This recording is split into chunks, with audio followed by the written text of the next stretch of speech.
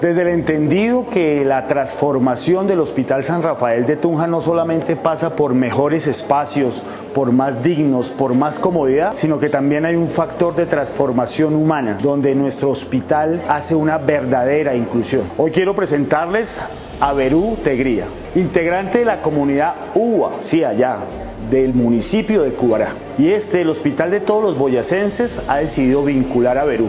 Aparte de que es un gran auxiliar de enfermería que se preparó eh, en representación de su comunidad como auxiliar de enfermería y que trabaja como auxiliar de enfermería en el Hospital San Rafael de Tunja. También hace las veces de intérprete, de tal forma que la comunidad indígena, la comunidad UA, que venga a tomar los servicios del Hospital San Rafael de Tunja, siempre van a encontrar una persona que les pueda ayudar, una persona que los pueda entender, que los pueda orientar y que los pueda dirigir en las atenciones que requieren en el Hospital San Rafael de Tunja.